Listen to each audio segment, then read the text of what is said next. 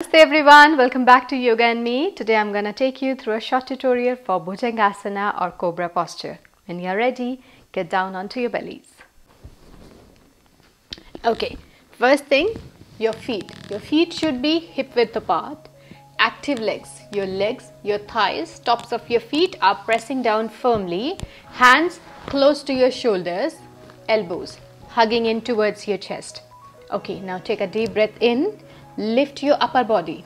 When you lift your upper body, keep your legs down and lift. Maximum people will come up here. But mind you, this is not the right way to do it. Go down on the exhale again. This time, as you lift up on the inhale, keep your elbows hugging in. Look forward, lift, hold it here. Spread the fingers wide. Keep your lower ribs down and keep your elbows bent. Use your upper back muscles. Roll the shoulders down. Look at the tip of your nose or maybe forward. Keep pressing down your legs. Hold it here. Three to five deep breaths. Exhale. When you're ready, come down and lift up.